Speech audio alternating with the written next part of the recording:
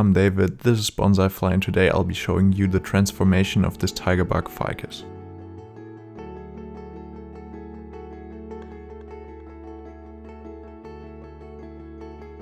At this point I already had the tree for about one and a half years. Unfortunately I didn't film the process up until now, but here's a quick picture slideshow.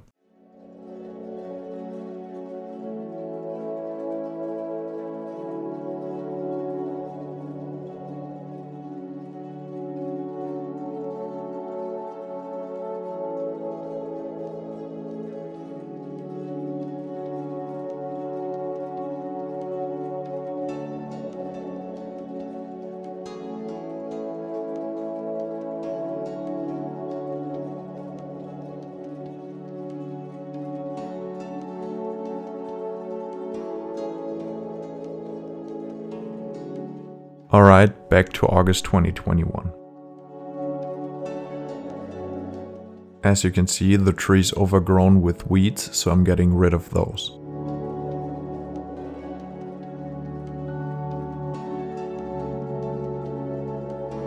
Now the tree looks much cleaner. I planted the little ficus in hopes that it would fuse with the trunk to make it wider, but that didn't work. I removed branches coming from the same spot and defoliated the tree.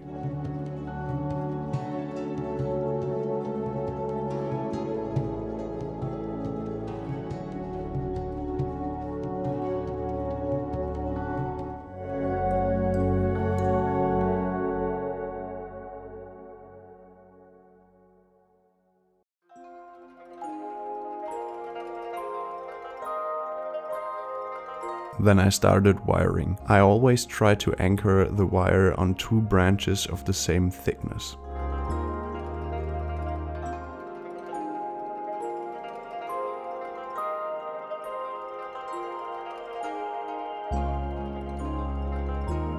Bending branches downwards imitates weight and therefore age.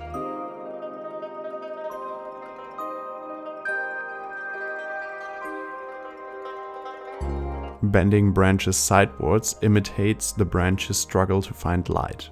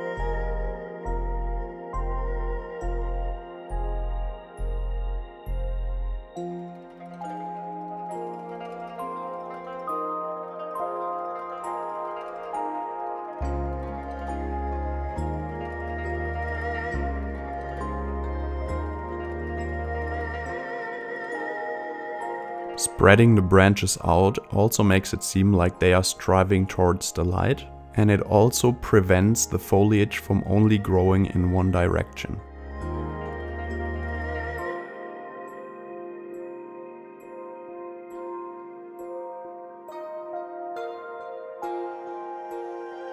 Now the branches are drooping just to come back up at the end.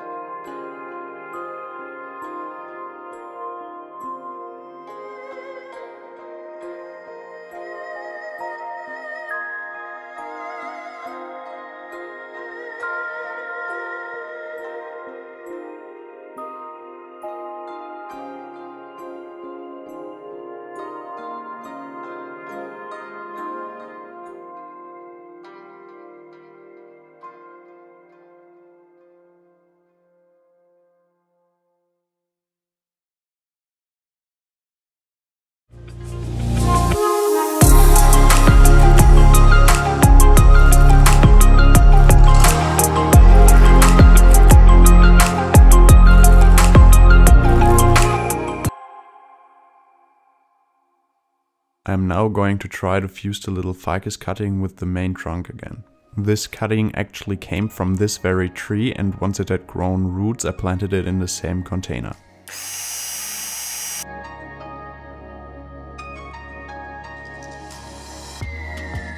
To get the two plants to fuse, I carve out little sections of the trunk and then attach the small ficus with tags. Now in my opinion the largest flaw on this tree is that the trunk is very thin still.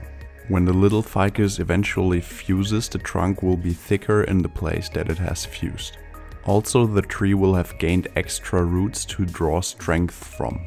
And what's even better, the little branches coming from the small ficus can eventually be used as sacrifice branches to further thicken the trunk.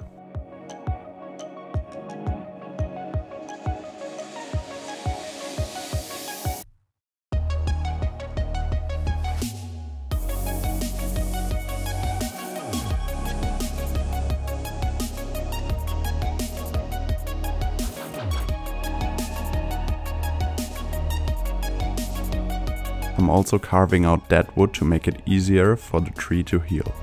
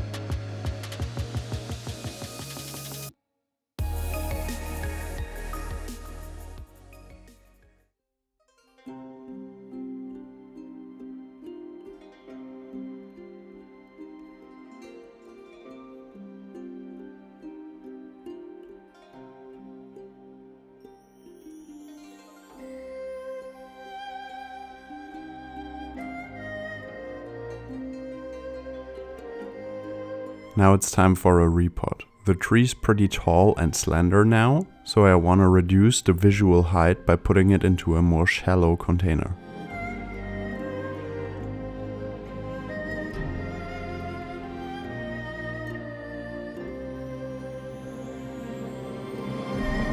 Was actually hoping to uncover a potential Nebari and was actually kinda shocked that there weren't as many roots as I had hoped. As you can see there was still a lot of black soil, which I didn't take out with the last repot one and a half years ago because, well, I had just started bonsai and honestly didn't know what I was doing.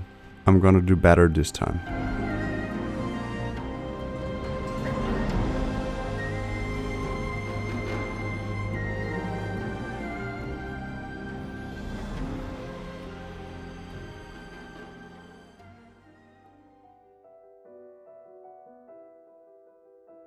This is the new pot that I chose for the tree. As you can see it's shallower. What sold me on this pot is that I think that the delicate feet harmonize very well with the slenderness of the tree.